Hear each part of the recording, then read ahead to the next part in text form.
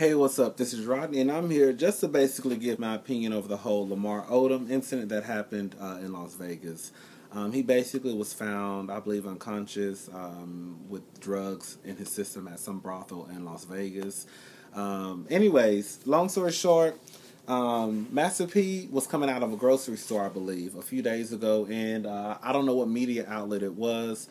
Some media outlets stopped him and asked him a few questions about the whole Lamar um, situation a situation, and um, he basically, in the in a nutshell, he called Kobe Bryant uh, and the Kardashians fake, and um, basically saying no one tried to help him, help Lamar.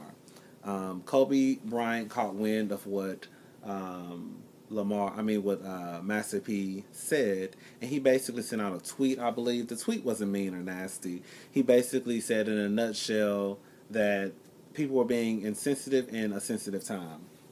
Now I'm not gonna read this whole motherfucking letter to y'all because it's long as fuck. But I'm, I'm just gonna read like the first half that Master P wrote. Because um, after he found out what Kobe Bryant said, he came back with a reply.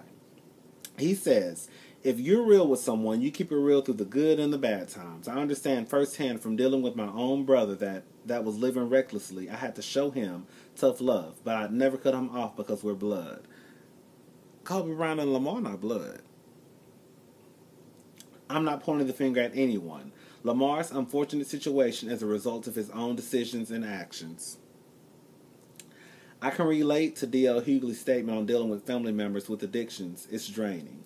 I'm not a phony. I can admit that I stopped dealing with Lamar years ago for those same reasons. Even though I've known Lamar for over 15 years, it wasn't like we were the best of friends. I tried to mentor him and give him advice, but he is a grown man and made his own decisions. You can't help anyone that don't want any help, and I get that. That's life. That's so that's why I stopped dealing with Lamar. It's not like we're blood related where I could where I would have put up with his reckless behavior. I'm sure Lamar has many people in his life, such as family members, friends, colleagues, teammates, significant others who have stopped dealing with him, but I'm just not afraid to openly admit it due to his unfortunate medical situation. I can also admit that me and my family are far from perfect. We have situations we're dealing. Girl, he put a, he said a whole bunch of shit, y'all. Basically, how Lamar complained about how everybody turned their backs on him, even his NBA buddies. Um, Kobe Bryant is one of the greatest greatest players in the world. Um, that that he would have a conversation with Kobe and the Kardashians just to basically discuss what he said. Girl, that's fake and phony right there. That is fake and phony. For you to sit here and say that it's okay for you to stop dealing with Lamar Odom because of Lamar Odom's situation, but nobody else can, is bullshit.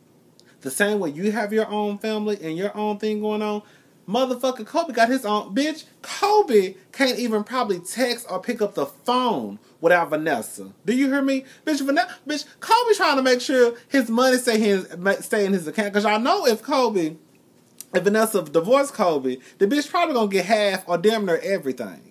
So, bitch, Kobe, Vanessa got Kobe by the motherfucking strings right now. So, if that bitch say, you not texting nobody, bitch, you not texting nobody. Now, I'm gonna say this much. In a nutshell, my uncle is on drugs. And a few months ago, we had a family reunion. And um, I was talking to my mom, and I was just basically telling her that for as long as I've been living, I don't remember anything about my uncle except him being on drugs. Um, whether it was stealing from my grandmother, him stealing our Nintendo system, girl, at the throwback Nintendo. Nintendo system, I remember as a child. Um, I remember, like my, I remember one night my mama was running through the back because all of our family lived on the same block, country. And I just remember one time my mom was just like ran ran through the backyard. It was real late at night. I remember me waking up and my uncle was on the floor. My uncle was outside on the concrete, and I remember the cops being there. That's all I remember. But of course, now it had to do with drugs. Um, but with that being said, if my uncle, I don't deal with my uncle at all. When we were going home for for the family reunion, family reunion, we always stayed at my grandmother's house, and I was just basically saying that if he was going to be there, then I, well, I was telling my sister, if he's going to be there, then bitch, I'm not going Bitch, I'm not supposed to wake up one morning and bitch, my wallet is gone, or a pair of my shoes gone, and three pairs of my drawers. Like, no. Bitch, we look outside the car gone. Like, I'm not dealing with that. Y'all can deal with that shit. But bitch, I'm gonna be in Houston watching HGTV and eating a bowl of ice cream. Just bring me back a plate. Like, I'm not dealing I'm not dealing with that. And then come to find out he was actually in jail at the time, so it really didn't matter. Um, but at the end of the day, if my uncle was to be rushed to the hospital, um, I will go. And it may not necessarily be for him. I'm just going to be honest with you. It may not necessarily be for him, but because I know my grandmother is there, and my mom is going to be there, and my other uncle is going to be there, then I'm not going to like just leave my family like up there and me just sit here like, oh, ain't shit going on. You know what I'm saying? I don't deal with my uncle, but at the end of the day, I don't want the motherfucker to die either. Not right now. Like, damn. So he also, but so anyways, Master P also basically went on to say that um, he's not phony, and you know, um, so that's re- one of the reasons why he's not check going to see Lamar because he's not trying to do this for publicity. Girl, you lying. You did like a damn a three minute interview or four minute interview with some media outlet. I think it was TMZ, and now you open now you writing an open letter. If that's not seeking pu- publicity, then what the fuck is? You think just because you're not going to the hospital, just because people are not taking pictures of you, that you're not that that's not pu- uh, publicity? You did an interview and you wrote a letter. What the fuck? What what what planet do you live on? I don't understand it. I really don't understand it.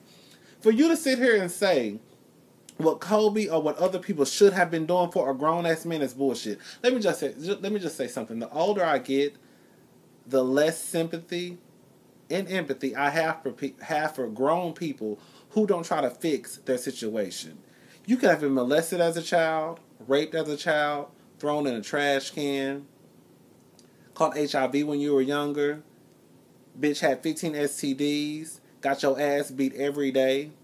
But there has there has to come some point in your life, especially as a grown ass adult who's like 35, like I think Lamar's like 35. You cannot be 35 and 40 and people are still pointing the fingers at other people. Whatever you went through when you were younger, bitch, you need to get some help. Like there's no excuse for it. Yeah, when you're 16, 17, 18, you just don't know what to do. But when you're hitting 35 and 30 and you need to start, okay, I need to get my shit together because this shit is eating me alive. Bitch, it's crackheads out here right now who trying to get us together on a dime and a prayer. Bitch, Lamar Odom is rich as fuck. He has the finances and the resources to get help if he needed it. And this is this is what happens when you don't get the help that you need. You end up in the motherfucking hospital with motherfuckers pumping your stomach. But no, instead of people putting the blame where it belongs, which is Lamar Odom, Everybody wants to point the, put, point fingers at Kobe Bryant and Khloe Kardashian and Kris Jenner and all this. First of all, to be honest, I've never seen the Kardashians bash Lamar Odom. I have never seen it. They will dance around the subject of why Khloe and Lamar got a divorce, but they never once said that motherfucker got a divorce because he was on drugs. Now, just because Kris Jenner or Kim Kardashian did not want Khloe to be with Lamar does not mean they don't care about Lamar. Bitch, I would want the same thing for my family member too. Bitch, if my sister was dating a crackhead, I'm gonna tell you right now. I'm gonna tell my sister straight up, bitch, you need to leave that motherfucker alone. Girl, you was too young to be dealing with this shit. Now, if my sister, husband, who was a crackhead, ended up in the hospital, when I go to the hospital, yes. It may not necessarily be for the crackhead, but bitch, it's for my sister. Bitch, my sister probably up there with no motherfucking face on, her wig probably sitting on the motherfucking chair. She probably got her hair pulled back in the ponytail, probably braids going down the back of her head, knowing my sister. This bitch probably got on one thong sandal and one tennis shoe. Bitch with a wife beater and no with a wife beater and no bra, with some boyfriend jeans on. Girl, my sister probably will be going through.